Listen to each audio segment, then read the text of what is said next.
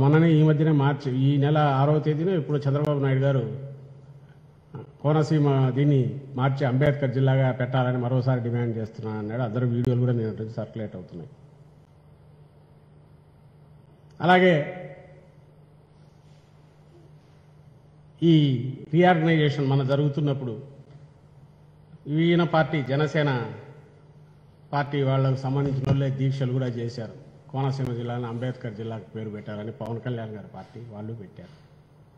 ఇదే నేపథ్యంలో చూపించి ఎందుకు చెప్తున్నానంటే ఆయన కూడా గమనించాడు లేదో ఉంది మరి వాళ్ళు ఎందుకు కడప జిల్లాకు పెట్టమనలా? చంద్రబాబు నాయుడు గారు దీనికి ఎందుకు పెట్టమన్నాడు? మీ పార్టీ వాళ్ళు కూడా కోనసీమకే ఎందుకు అడిగారు? మరి మాట్లాడే ముందు తెలుసుకోవాలిగా. మరి ఇప్పుడు ఎందుకు పెట్టారు? ఆ రోజు ఎందుకు చేయలేదు? ఆ రోజు ఎందుకు చేయలేదు ఇప్పుడు ఎందుకు పెట్టారంటే తర్వాత కూడా అలాంటి వినపడుతుంది కాబట్టి రిక్వెస్ట్లు వస్తున్నాయి కాబట్టి. మరి అయిపోయిందని చంద్రబాబు ఊరుకోలేదే? ఈ నెల మళ్ళీ ఎందుకు డిమాండ్ చేశాడు? వాళ్ళ ముమ్మడివరం ఏదో మీటింగ్కి వెళ్ళి. జస్ట్ ఏదో రాజకీయ ప్రయోజనం కోసం ఉన్నాడా? చెక్ చేసుకోవాలి పవన్ కళ్యాణ్ గారు. లేదు. నిన్న జరిగిన దాని మీద మీ ఒపీనియన్ ఏంటి? మీరు నిజంగా సీరియస్ రాజకీయ పక్షమైన ఆయనైనా సరే నేను చంద్రబాబు గారిని నేను అడిగేది. ఇప్పుడు ఈ గొడవ ఎందుకు జరిగింది అనుకుంటున్నారు? ఇది భావోద్వేగాలతో న్యాచురల్గా తన్నుకొని వచ్చిందా? మీరన్నట్టే పెట్రోల్ క్యాన్లతో వచ్చినారు కుట్రపూరితంగా జరిగింది కదా. మీరు కొన్ని క్వశ్చన్లు ఎందుకు రేజ్ చేయకూడదు? అంబేద్కర్ గారి పేరు పెట్టాలనా వద్దా? మీ స్టాండ్ ఏంటి?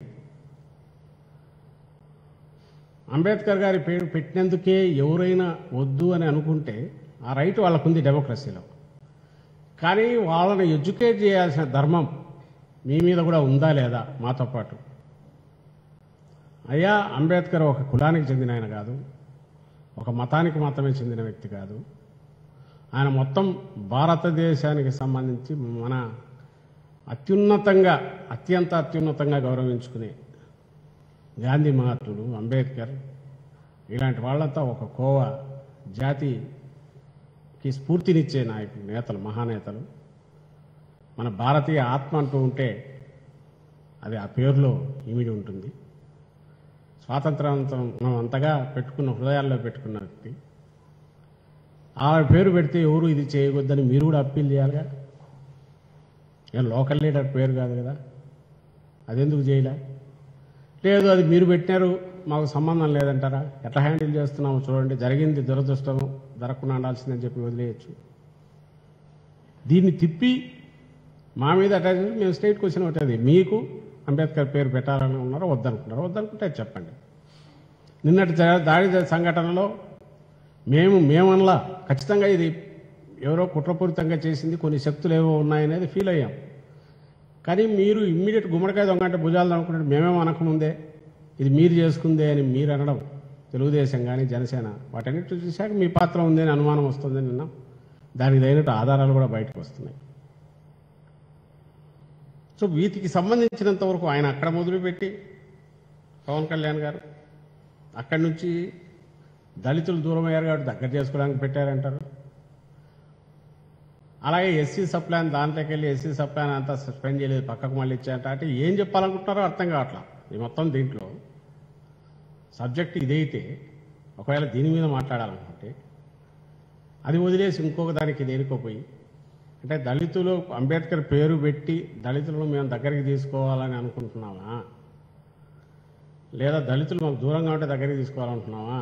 లేదా దగ్గర ఉండే వాళ్ళని దూరం చేయాలనుకుంటున్నామా?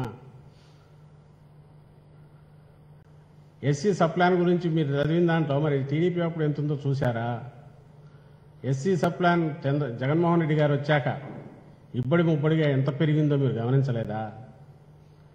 కళ్ళు మూసుకొని నేరుగా డీబీటీ ద్వారా వేసిన లక్ష నలభై ఐదు కోట్లలోని ఈ పార్ట్ తీస్తే ఎంత ఎంత అవుతుందో చూస్తే అక్కడే కనపడదా మీకు? మీరే ఒక పక్క మీరు మీకు స్క్రిప్ట్ రాయించేవాళ్ళు మీరే మాట్లాడుతుంటారు. మొత్తం అంతా సంక్షేమం పేరు మీద ఇట్లా ఇచ్చేస్తున్నారని మిగిలినవి మర్చిపోయా ఇది ఇగ్నోర్ చేస్తున్నారని మీరే ఆరోపణ చేస్తారు. మళ్ళీ ఏసీ సప్లై అనేది చేయలేదంటారు క్వశ్చన్ ఈజ్ నిన్న జరిగిన దానికి సంబంధించినంత వరకు ఒక అవాంఛనీయమైన దుర్ఘటన సంఘటన దాడి అది జరిగింది. దాన్ని కంట్రోల్ చేశాం. దాని వెనక అది రాజకీయ ప్రేరేపితం. దాన్ని రాజకీయంగా మేము ఎదుర్కోగలం. ఇంకొక అనుమానం కూడా వస్తుంది. రెండు నెలలు మూడు నెలలు రెండు నెలల నుంచి మొదలు పెట్టారు ఎక్కడో మోకాలకు బట్టతలకు ముడియడం అంటే ఇదే. శ్రీలంక ఏదో వాళ్ళకి జరిగిందని చెప్పి తెచ్చి ఇక్కడ తిరుగుబాటు జనం తిరుగుబాటు అల్లర్లు జరుగుతాయని. ఇదంతా దాంట్లో భాగంగా అల్లర్లు జరుగుతున్నాయని చూపడానికి మొదలుపెట్టారేమో కూడా తెలియట్లా. కానీ ఒకటి మాత్రం చెప్పగలను. తుని రైలు సంఘటన అదొకటి అన్నాడు ఆయన. దాని వెనక మేమే ఉన్నామని. తుని రైలు రైలు సంఘటన రైలు దగ్ధం కేసు ఆ రోజు జరిగినప్పుడు. కాపు ఉద్యమం నేపథ్యంలో ముద్రగడ పద్మనాభ గారు ఆయన లీడ్ చేసి పట్టాల మీదకి పోతే ఆ మధ్యలో ఎవరో తగలబెట్టి ఆ రోజు ఖచ్చితంగా ఏదైనా ప్రయోజనం పొందడం అంటూ ఆ ఉద్యమాన్ని అణిచివేయాలి ఏదో రకంగా ఇచ్చేయాలని ఉంటే ఆ లక్ష్యం కానీ అలాంటి ఉద్దేశం కానీ చంద్రబాబు గారికి ఉండే అవకాశం ఉంది. ఆయన చేయించాడనుకుంటే అర్థం ఉంటుంది. కానీ ఇది విచిత్రం. ఆ రోజు ఈయనేమనలే అసాంఘిక శక్తులని అన్నాడు. అలాగే నేను ఒక కులానికి చెందినవాడిని కాదన్నాడు ఆ రోజు. ఎంత జాగ్రత్తగా బిహేవ్ చేస్తాడు చూడండి ఈయన. చంద్రబాబు గారు ఆ రోజు అధికారంలో ఉన్నారు. ఈరోజు వచ్చి మాకు అది తగలగడుతున్నారు. ఎందుకంటే చంద్రబాబు గారు అన్నారు కాబట్టి ఇలాంటి కల్చర్ మాకుందని అయ్యా చంద్రబాబు గారు ఇలాంటి తుచ్చమైన కోరికలో ఇట్లా అడ్డదారిలోనో ఎక్కడనో ఏదో చేసి తద్వారా ప్రయోజనం పొందాలి. ఇల్లు తగలబెట్టి దాంట్లో ఏదన్నా ప్రశాంతంగా ఉండాలని చిన్నాభిన్నం చేసి దాంట్లోంచి ప్రయోజనాలు లాక్కోవాలి. కులాలు ఉపకులాల మధ్య విచ్ఛిన్నం చేసి ఉద్రిక్తతలు సృష్టించి దాని నుంచి ఏదైనా లాగాలి. వీటన్నిటికీ మీ తల నిండా ఇలాంటి ఆలోచనలే ఉంటాయని ఇలాంటి అడ్డదారుల్లో బలవంతంగా ఇండ్యూస్ చేయడం ఉంటారు ఏదో ఒకటి క్రియేట్ చేసైనా దాని నుంచి లాభం పొందాలనే అలవాటు మీకుందని మీ తోడలుడు మీ సహనాయకుడు తెలుగుదేశంలో మొదట్లో దగ్గుబాటి వెంకటేశ్వరరావు గారు తన పుస్తకంలో కూడా రాసినట్టు నాకు గుర్తు. వీళ్ళప్పుడు ఎన్టీ రామారావు గారి హయాంలో ఇంటర్నల్ మీటింగ్ జరుగుతుంటే అప్పుడు ఆయన దగ్గుబాటి వెంకటేశ్వరరావు నాకు గుర్తుండి యువజన నాయకుడుగా కూడా ఉండేవాడు తెలుగు యువత అధ్యక్షుడుగా అనుకుంటా. ప్లస్ ఈ- ఈ యూత్ డిఫరెంట్ ఆర్గనైజేషన్స్ వీళ్ళు కలిసి ఏదన్నా స్ట్రైక్లు అవి చేసే దాంట్లో ఈ పెద్ద మనిషి అప్పుడు అన్నాడంట సమ్మె చేయాలో ఏదో బంద్ జరపాలంటే కనీసం రెండు రెండు బస్సులన్నా తగలబెట్టకపోతే ఎట్లని చంద్రబాబు నాయుడు గారు అన్నారని తాను షాక్ తిన్నానని ఆయన రాసుకున్నట్టు గుర్తు దగ్గుబాటి. ఖచ్చితంగా ఉంది ఆయనకు ఆలోచన. ఎందుకంటే వేరే తెలియదు. మీరు రాంగ్ ట్యూషన్ మాస్టర్ దగ్గర ట్యూషన్ తీసుకుంటున్నారు పవన్ కళ్యాణ్ గారు. మీరు నిజంగా మీరు సినిమాల్లో మీరు కనపడి చేసినట్టు రాజకీయాల్లో కూడా మీరు షైన్ కావాలంటే తెరిజవే దానికి రాజమార్గం స్ట్రైట్ ఉంటుంది.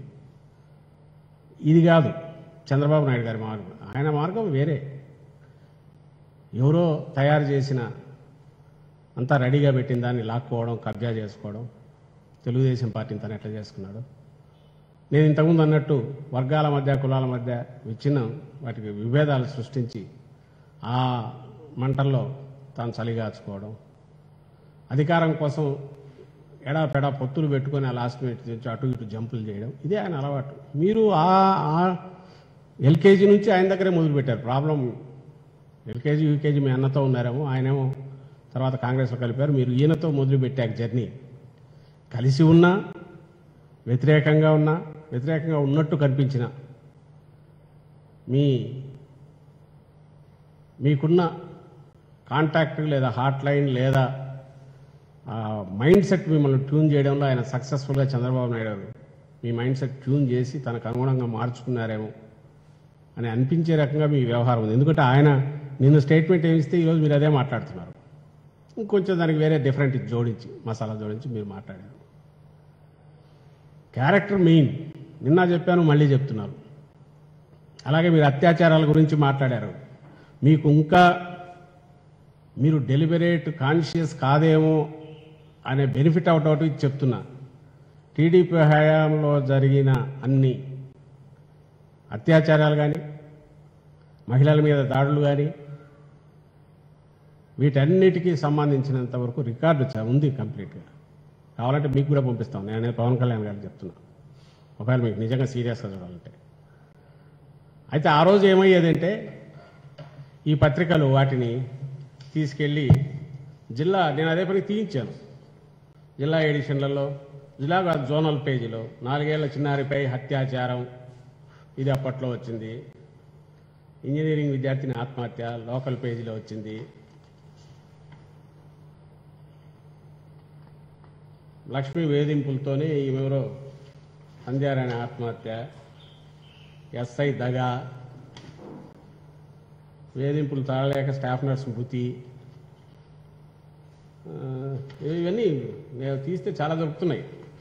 ఇంకా మొత్తం తీసుకురాలే చిట్ట ఇదేదో ప్రేమ వంచన సామూహిక అత్యాచారం. జిల్లా ఎడిషన్లలో లోకల్ కన్ఫైన్ చేసేవాళ్ళు. ఇప్పుడేమైంది? జగన్మోహన్ రెడ్డి గారు అధికారంలోకి వచ్చారు కాబట్టి అవి తెచ్చేసి మెయిన్ ఎడిషన్లో పెడుతున్నారు.